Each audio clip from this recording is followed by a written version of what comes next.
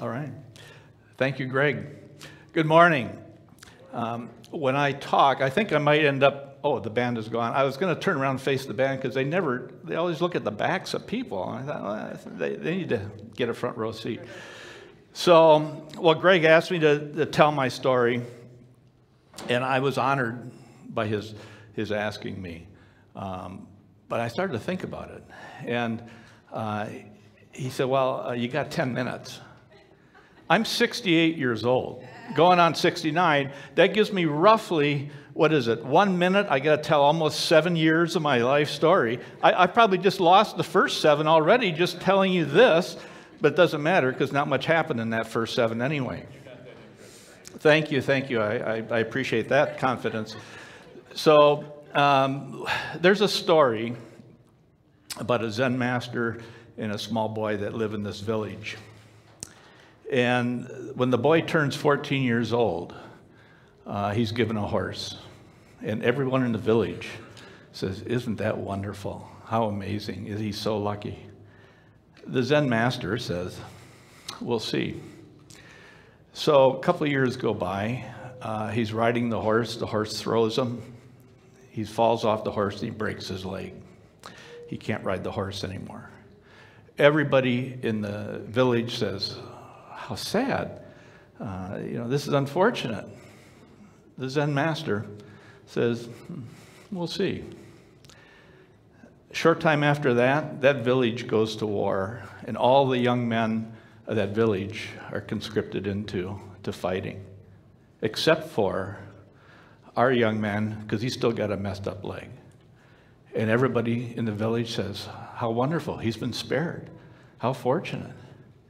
And the Zen master says, We'll see. Exactly. And I think, um, I know this month of January you've been talking about uh, decision making, and uh, I think, you know, decision making oftentimes is so results oriented, but at the end of the day, we'll see really has had a big impact uh, on my life. So, uh, to give you a little, little of the backstory, I met Greg um, about 1995 when we joined Bethlehem Lutheran uh, Church.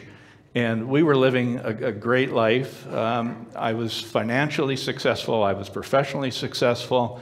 We had a beautiful home between Harriet and the creek. We, uh, our boys were, had their own sailboat on Calhoun, we were sailing every day in the summer. We were doing sailing trips, everything was going great. In about 2004, uh, I get a notion that I want to make a change in my life. And I want to do something around the passion, a passion I had for sailing. So I contacted, I, I wasn't sure what to do. I contacted a gentleman who had the largest yacht dealership in the upper Midwest called Crow's Nest Yachts. I got their answering machine. I left a message. I said, I'm Reeve Hutchinson. I'm trying to make some changes in my life. If you'd like to make changes in your life, maybe we can help each other out. So I left him this rather cryptic phone message. He called me back. okay. So I, I, he said, I'd like to talk to you. So I told my wife, I'll be gone for about an hour.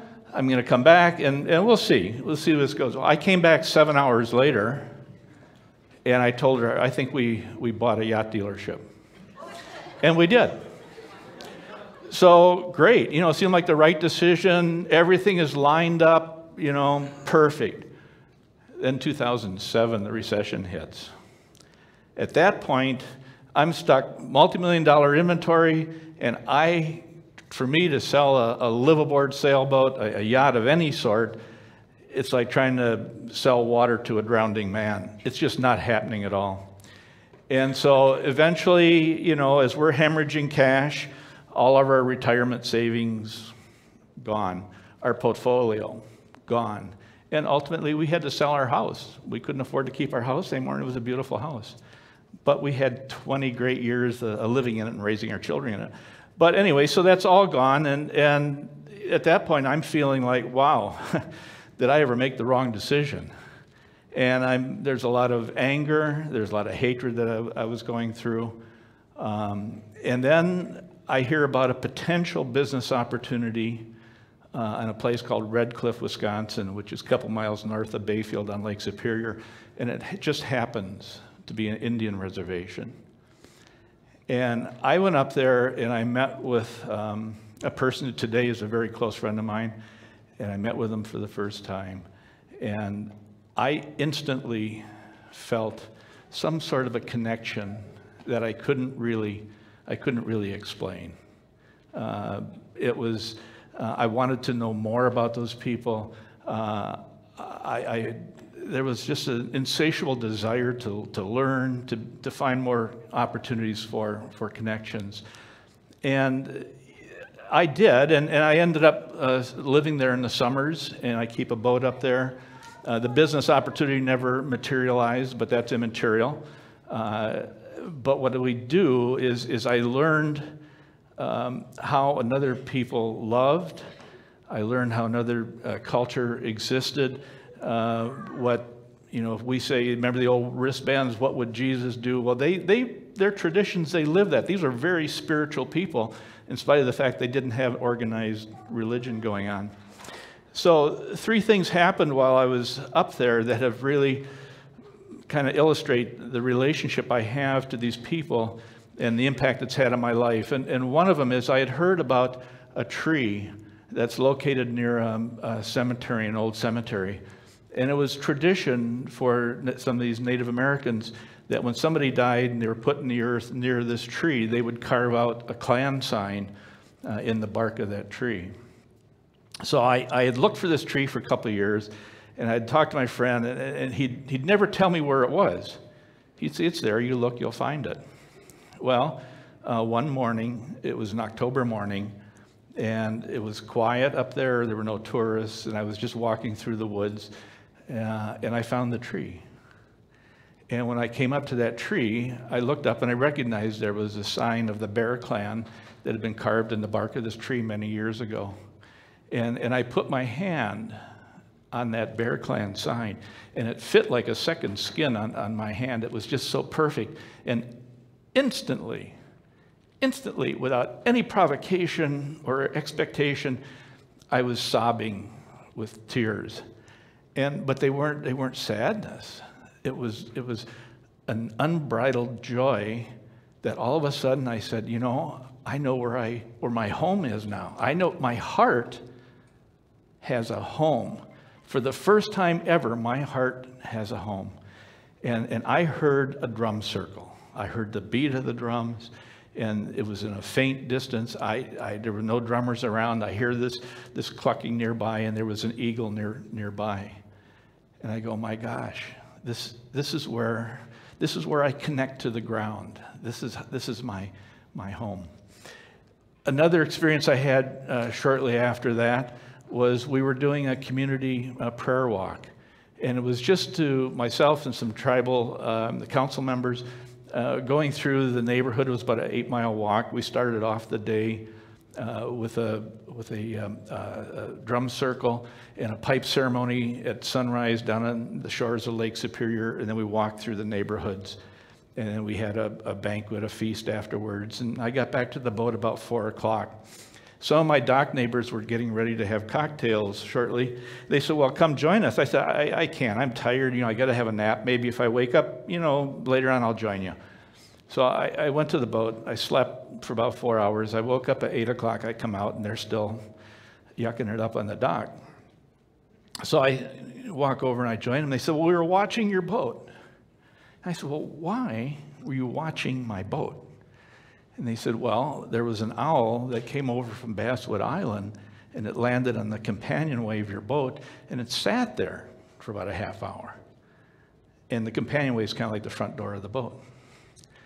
So I had known enough that traditionally the owl is a messenger of death. I mean, it's not literal death, it means it can mean change in your life.